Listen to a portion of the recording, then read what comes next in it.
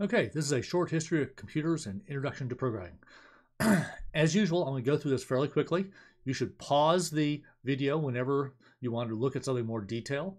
Um, you don't have to just let it wash over you. you know, stop and read what's on, on the screen.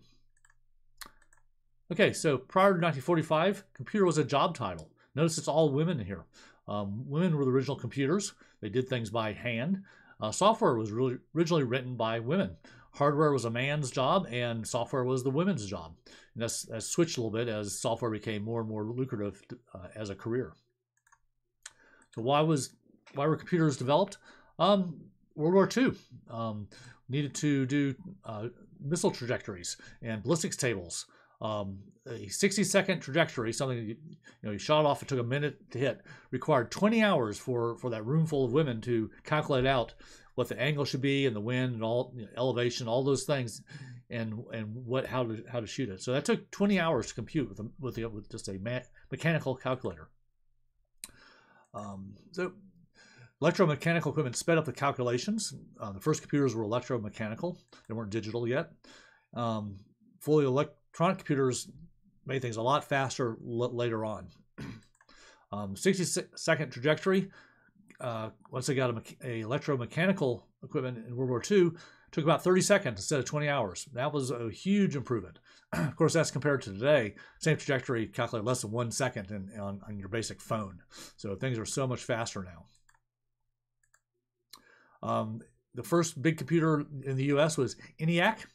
Um, notice this whole room here is is the computer. Um, everything inside here, inside these cabinets, is where the computer is, um, and these are just I/O basically. So the computer is this whole room. Um, ENIAC stood for Electronic Numerical Integrator and Computer. It was secret until 1946. Didn't want people to didn't want the uh, the the enemy to know we had it and you had to rewire it for each problem. It, was a mechanical. You had to had to wire things up um, for if statements and things like that. Um, it was not programmable. It was not reproducible. It was 100 feet long all the way around there. Weighed 30 tons. Had 18,000 tubes in it, little vacuum tubes, and they would go out a lot. So people they were always replacing the tubes. 150 kilowatts, faster than anything up to then. So as as slow as this was, and as huge as it was, it was much faster than anything up to that point. And it was still slow compared to, to today. Um, in 1995, a company said, "Hey, we'll we'll, we'll put the uh, ENIAC capabilities all on a chip. So si- size of a dime, smaller than a dime. That's what that whole room could do. Um, one chip could do that. What was in that whole room there? Just kind of very interesting. Early mainframe computers.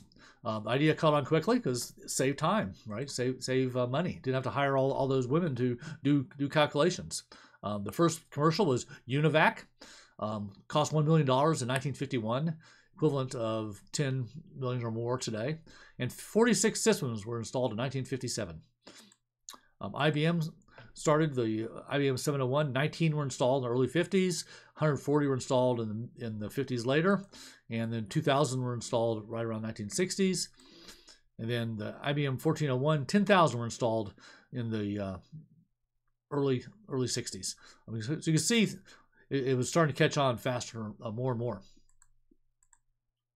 Um, Grace Hopper was an early, early pioneer. Uh, she wrote COBOL. Um, she was an early pioneer in computer science, something that you should all uh, look up. There's a YouTube video here. Look, she was on talk shows all, all the time later on in her life. Um, she was a brilliant woman and an early pioneer, so someone you should definitely know, know about. Uh, the first driver of growth was miniaturization. Um, things got smaller, cheaper, more reliable. And as they got smaller and smaller, things got faster.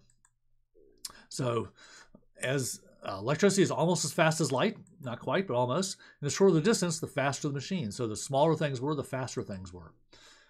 A nanosecond takes light or electricity to go about 11.8 inches. So about that that long is how long it takes for a nanosecond for information to travel. It's not instantaneous. It's still it's still uh, um, not light speed.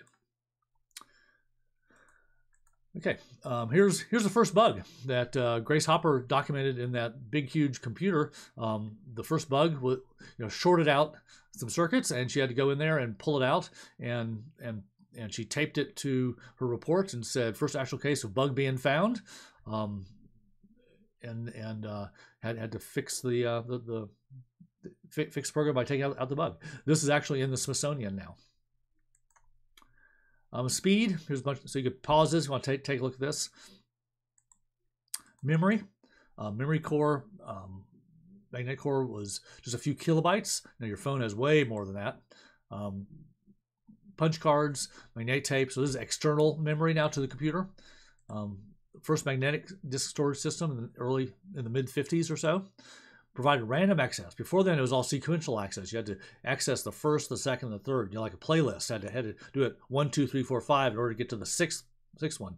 Um, now you could go directly to six. You could jump right to six. And that was a big deal to be able to go, oh, I could go directly to six or, or directly to 10,000, having to read all 10,000 items before that.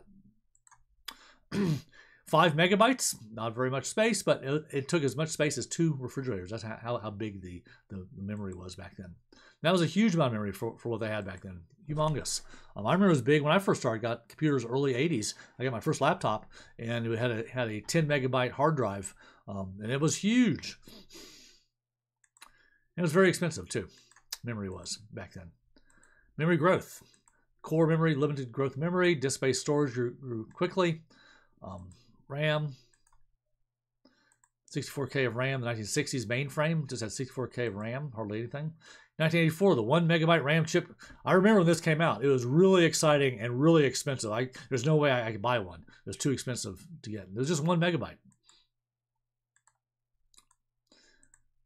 So here's the kilobytes, megabytes, gigabytes, terabytes, petabytes, exabytes, zettabytes. So memories get bigger, bigger, and bigger oh, yottabytes. Okay, so binary data representation. All values stored as binary numbers. So the smallest unit is one bit. Everything in your computer is a number, zero or one. That's it. There are no pictures in your computer. There is no music in your computer. Um, it's all zeros and ones. Everything. If you open up your computer, all you're going to find are zeros and ones in memory. Software translates that into pictures that you can see on a screen and displays it for you. Or it translates the zeros and ones into sound that then was played on a speaker that you can now hear in your phone. So that's a huge thing to understand. There are no pictures in your phone or in a computer. There's no, no, no music in your phone. Okay, so bytes, you got bits, then you have bytes. A byte is eight bits. Um, a byte represents ASCII character of an integer between 0 and 255. Um, ASCII is something that you're going to know about um, um, if you're going to be a computer scientist at all. Binary is basically base two, zeros and ones. It's all there is. So just everything can be is and everything is defined as zeros and ones in the computer. So zero base 10 is zero and base two also. A one is a one. A two though, there's no two in base base 2, so it becomes 1, 0. You see how that, that carries over. So 3 is now adds a 1 to it. 4 is going to add a 1 to that becomes 0, 1, 0, 0. So that's a 4. 5 is 0, 1. Another way to look at it is take the rightmost digit.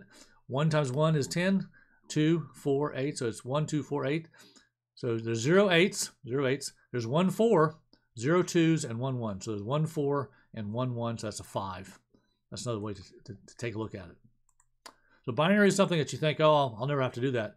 If you're a computer scientist, you are. You are going to have to take a look at it. You have to understand it. Um, you're going to be using this for various things. And the more scientific programming you do, the more you'll need to know about binary.